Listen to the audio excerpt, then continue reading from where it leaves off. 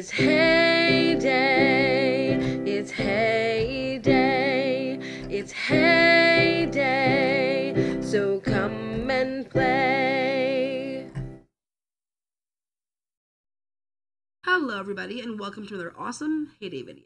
My name is Jennifer, and here on YouTube, I go by Gizmo Spike.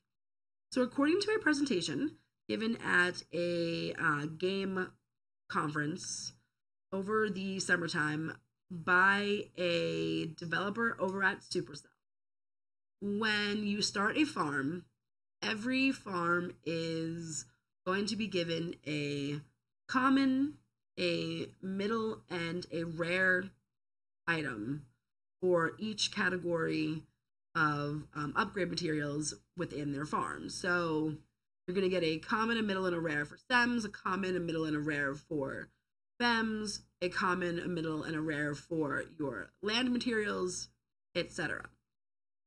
So I have decided that I would like to determine my ratios over on my teenager farm by wheating and seeing what it is that is my common, my middle, and my rare. I've actually never determined it over on my teenager farm before. I know what they are on my main. I have talked about it before in um, live streams.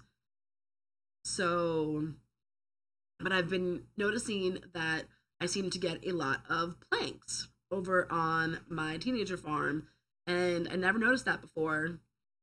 And so I've decided that it was probably time to sit down and scientifically look and see what my percentages are on my teenager farm.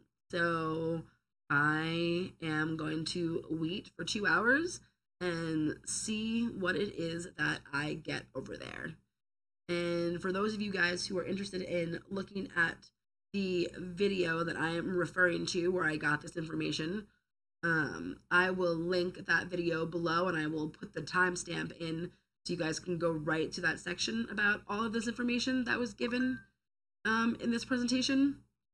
So, without further ado, I'm to go wait for two hours. So, I hope you guys like the video.